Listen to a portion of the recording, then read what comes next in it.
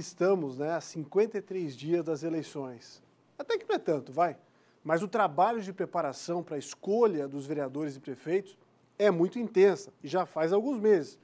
As urnas estão na estrada rumo aos cartórios eleitorais. Vamos falar de eleição.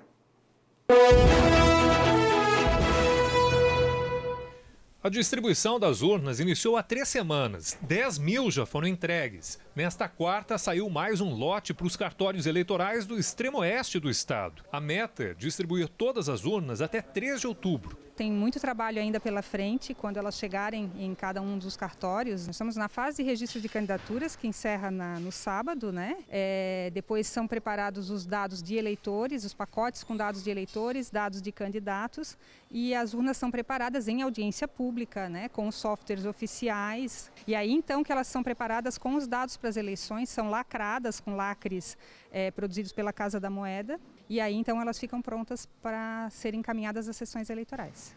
Apesar das eleições serem só de dois em dois anos, o trabalho de manutenção das urnas aqui não para. As mais de 20 mil urnas do depósito do TRE, elas são ligadas, atualizadas e testadas três vezes por ano. Elas passam por esses ciclos né, durante, ao longo dos dois anos. É, isso é necessário para que elas estejam em pleno funcionamento, porque se nós chegarmos agora nessa fase e, e encontrarmos, nos depararmos com várias urnas com, com problemas e, de, e dependendo de manutenção corretiva, não haveria tempo hábil para prepará-las. O Tribunal Superior Eleitoral garante que as fragilidades apontadas no teste público de segurança feito em novembro passado foram corrigidas. Na ocasião, peritos da Polícia Federal sugeriram pequenas alterações no sistema eletrônico de votação. Esses testes são feitos com esses experts para que a gente consiga encontrar vulnerabilidades ainda e corrigi-las em tempo de que elas não cheguem no, no, dia da eleição. Ainda que não seja usada a biometria esse ano, a eleição é segura não tem como burlar o sistema.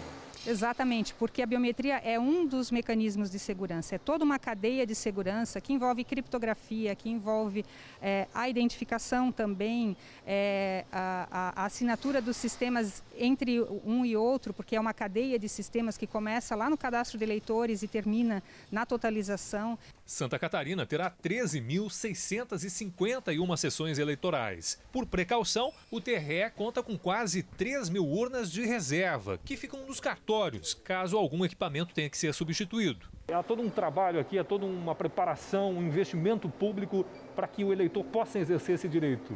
É fundamental que ele faça isso com consciência? É fundamental. A consciência do voto é, é o que vai nos levar sempre para frente, né? levar adiante. Se você não estiver né, no seu domicílio eleitoral, não se preocupe, você vai poder justificar a sua ausência pelo celular, né, pelo aplicativo. Né, o e-título, instalei aqui, está super funcionando, bem legal, viu gente? Se não conseguir baixá-lo também não tem problema, a justificativa pode ser feita, como sempre foi, né, até 60 dias após as eleições, no canetaço mesmo. A orientação é que só procurem as sessões eleitorais quem realmente for votar. Lembrando que este ano por conta da pandemia, as eleições vão ser no dia 15 de novembro.